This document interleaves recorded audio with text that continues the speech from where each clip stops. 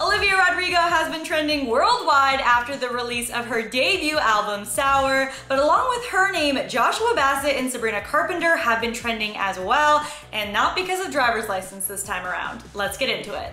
On Friday, Olivia finally dropped her debut album, Sour, and fans are now busy dissecting all of her lyrics, with many zeroing in on one particular song. That track's name is Traitor, and with an emotionally charged title like that, you know it was bound to get everyone's attention.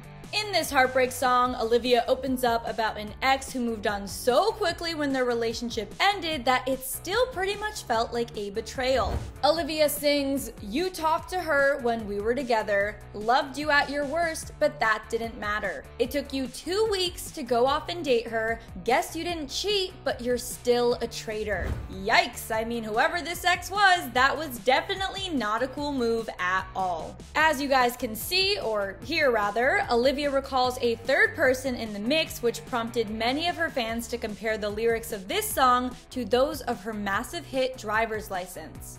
And along with the lyric comparisons, also came the return of all the theories and speculations surrounding the rumored love triangle between Olivia, Joshua Bassett, and Sabrina Carpenter. Fans flocked to Twitter to post things like Olivia's traitor really felt like a nudge to the Joshua and Sabrina drama, and I feel like I broke up with Joshua too after listening to Traitor. While it's fair to see how some fans might think there's a connection between driver's license and Traitor, we all have to remember that Olivia and Joshua have never actually confirmed that they dated, and as a matter of fact, neither have Joshua and Sabrina. However, what we do know is that Olivia did date her Bizaardvark co-star Ethan Wacker in the past, so maybe he's also a source of inspiration for the young songstress. Either way, this album was more than worth the wait, and Olivia definitely shut down any comments saying that she was just a one-hit wonder. We cannot wait to see what's next for her.